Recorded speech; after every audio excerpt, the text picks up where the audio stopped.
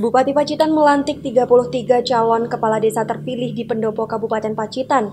Hal tersebut ditandai dengan penyematan tanda jabatan pada perwakilan Cakades terpilih. Bupati Pacitan melantik 33 calon kepala desa terpilih di pendopo Kabupaten Pacitan. Hal tersebut ditandai dengan penyematan tanda jabatan pada perwakilan Cakades terpilih Selain melantik puluhan calon kepala desa terpilih, pada kesempatan itu pula dilaksanakan pelantikan Ketua Tim Penggerak PKK Desa oleh Ketua Tim Penggerak PKK Kecamatan. Bupati Pacitan Indartato menyampaikan apresiasi setinggi-tingginya pada semua pihak yang telah bekerja keras dalam mensukseskan pilkada serentak di kota berjuluk 1001 Gua. Ia pun mengajak semua pihak agar ikut bersama-sama memulihkan situasi pasca pelaksanaan pilkada serentak. Indartato berharap agar kepala desa nantinya mampu merangkul seluruh masyarakat yang sebelumnya berbeda pilihan, termasuk kembali menjaga silaturahmi pada lawan politik dalam kontestasi pilkades lalu, sehingga kondusivitas Pacitan tetap terjaga.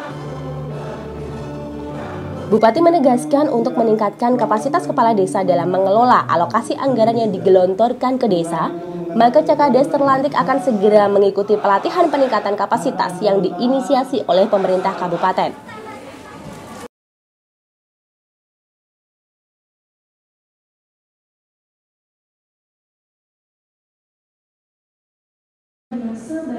Pro dan kontra merupakan bagian dari dinamika politik.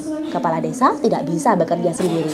Ia harus dibantu perangkat desa, BPD, dan LKMD yang merupakan satu kesatuan dan tidak bisa dipisahkan. Yang dikerjakan antara pemerintah desa dan pemerintah kabupaten tujuannya sama, yakni demi kemakmuran masyarakat.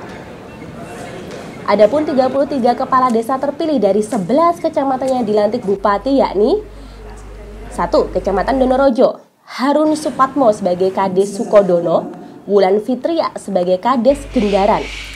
Kecamatan Prengkuku, Sigit Setiawan sebagai Kades Sugihwaras, Wiwit Penny Duyantari sebagai Kades Watukaro.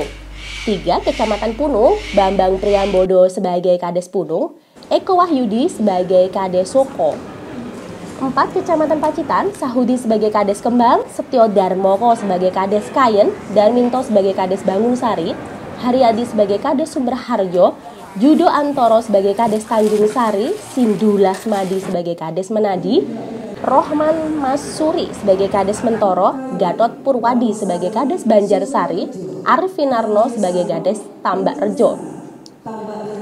Kecamatan Kebonagung, Ahmad Tohir sebagai Kades Pelumbungan, 6 Kecamatan Tulakan, Mustahim sebagai Kades Bubakan, Kecamatan Arjosari, Andi Widiantoro sebagai Kades Gunung Sari, Agus Palgunadi sebagai Kades Gembong, Lili Hidayat sebagai Kades Borang, Joko Sumaryanto sebagai Kades Mangun Harjo, Bambang sebagai Kades Karanggede, Muhammad Hasim sebagai Kades Cetis Kidul, Muhrodi Kades Jatimalang.